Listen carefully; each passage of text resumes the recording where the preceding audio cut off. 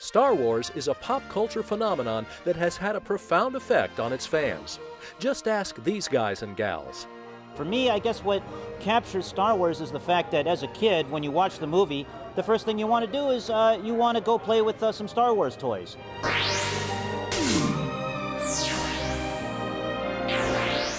Joe Mignano got hooked at the age of four when the first film came out in 77, and he's not the only one.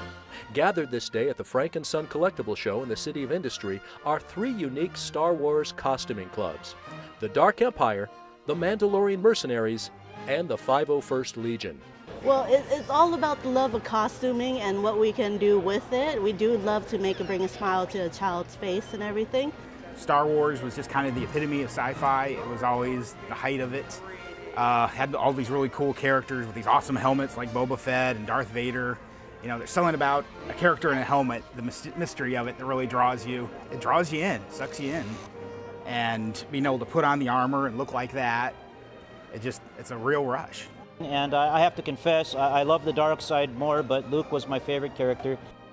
But there's a deeper meaning to this gathering. Everything is proceeding as I have foreseen. Star Wars fans in costume and Star Wars fans in the public are coming together to assist a youngling in need tonight.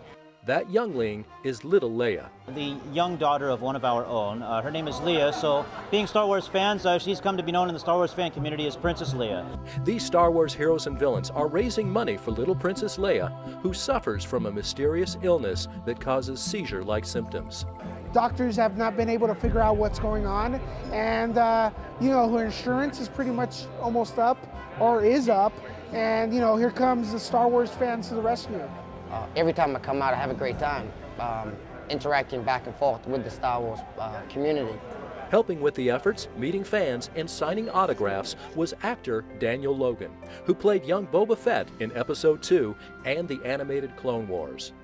Um, just wanted to show off my the interior of my helmet right there. I got Daniel Logan, who played Boba Fett in Attack of the Clones and the Clone Wars TV series, to sign my helmet. So, you know, now I'm officially a true Mandalorian right here.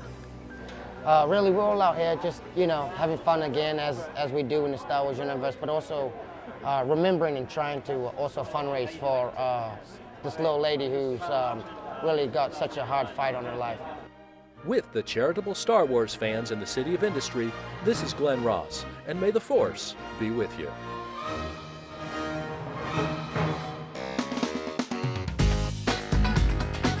Something else that just occurred to me, what if you're here doing one of these events and you have to go to the bathroom?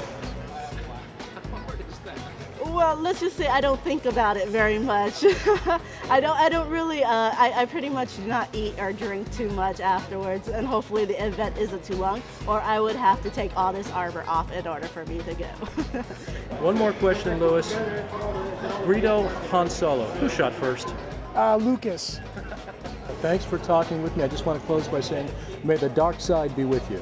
My dark side follows me everywhere I go.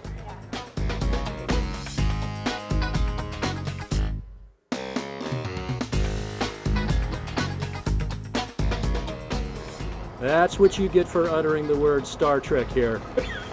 That's it, buddy. You're done.